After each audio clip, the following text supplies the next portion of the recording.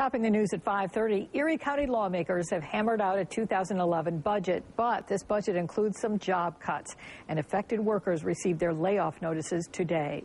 Senior correspondent Rich Newberg is here with more on this. Rich, Jackie, the pink slips are now in the hands of the department heads. County workers receive them tomorrow, so they have two weeks' notice.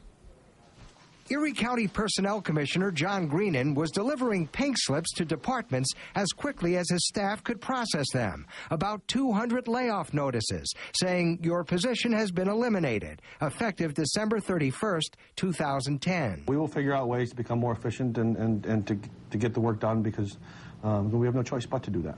But getting the work done for the taxpayers' watchdog will be next to impossible because the county executive stripped the comptroller's office of most of its auditors. The comptroller's associate deputy, Tim Callan, received the layoff notices. We're required tomorrow to distribute them to the, uh, the employees.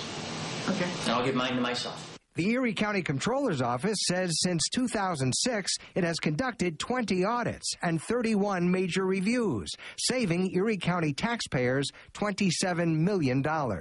This is real money that is saved for the taxpayers in the long run that we will lose if I cannot restore these positions. Mark Poloncarz says he will now seek a grant from the Erie County Control Board to reinstate his auditors and other staffers.